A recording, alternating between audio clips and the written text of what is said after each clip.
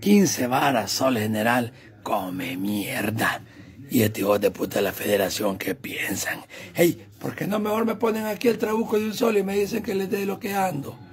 Hey, para poder yo pagar esa final, o me tengo que huevear dos fones de los cabales, va, pues sí, porque usted sabe que no solo es la entrada, falta para ahí, va, un par de churritos, va, un par de chorreados, no, ve, pero este hijo de puta, a ver, ¿qué piensan? 15 varas.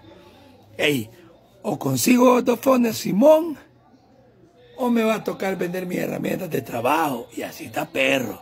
Si que esos de la 42, esos de la 101, 101B, ya saben, hijos de puta, me van a ayudar a pagar mi entrada porque estos culeros de la federación nos están hueveando. Coman mierda, hijos de puta.